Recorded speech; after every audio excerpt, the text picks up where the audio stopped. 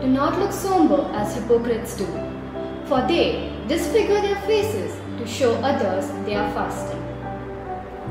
During the liturgical year, Lent is a commemoration of Jesus Christ, who spent 40 days and nights in the Judean desert.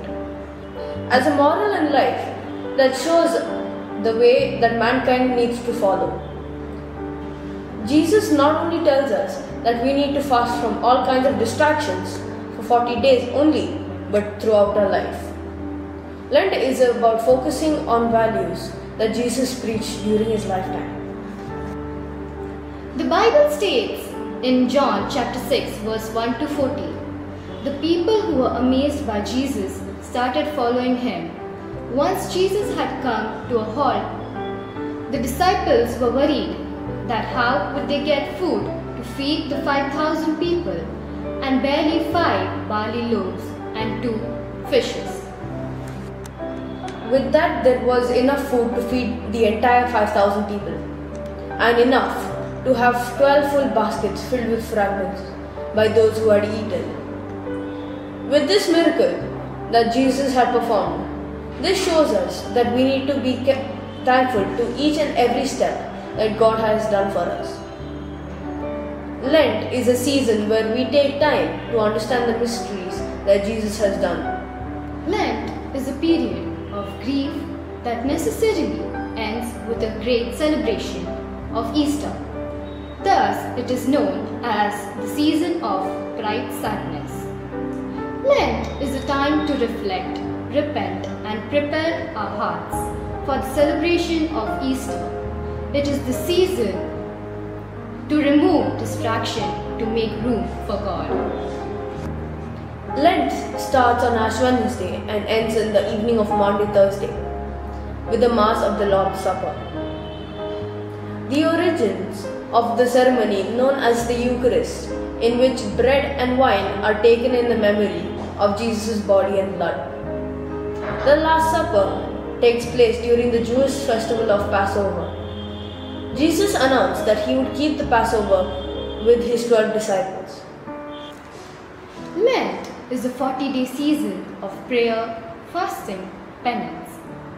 It's a period of preparation to celebrate the Lord's resurrection at Easter. Easter is a cultural holiday commemorating the resurrection of Jesus from the dead, described in the New Testament as having occurred on the third day of his burial following his crucifixion by the Romans at Calvary. During Lent, I have been reading Psalm 121 every morning after waking up and every night before sleeping. I have been reading a chapter from the Bible after prayer. The psalm that I have been reading, I lifted my eyes to the mountains. Where does my help come from? My help comes from the Lord who made heaven and earth. Psalm 121 has helped me understand what God can do for us and be with us in every situation and dangers in life. The psalm has helped me in every aspect of my life. Wherever I feel I have done something wrong and guilty, Psalm 121 helps me feel free from the guilt.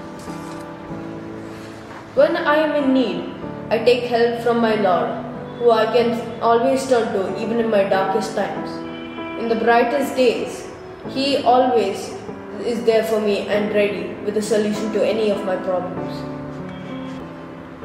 The difference we make in our time of Lent are we should always try to do good all the time, even though we feel tempted to do the wrong thing. We would just stop and think twice if it is right or wrong, or how would it affect the world or that person. There is a lot I would say about Lent, but it's all represented in the words. Pursue God like never before, so we can celebrate Him like never before. Thank you.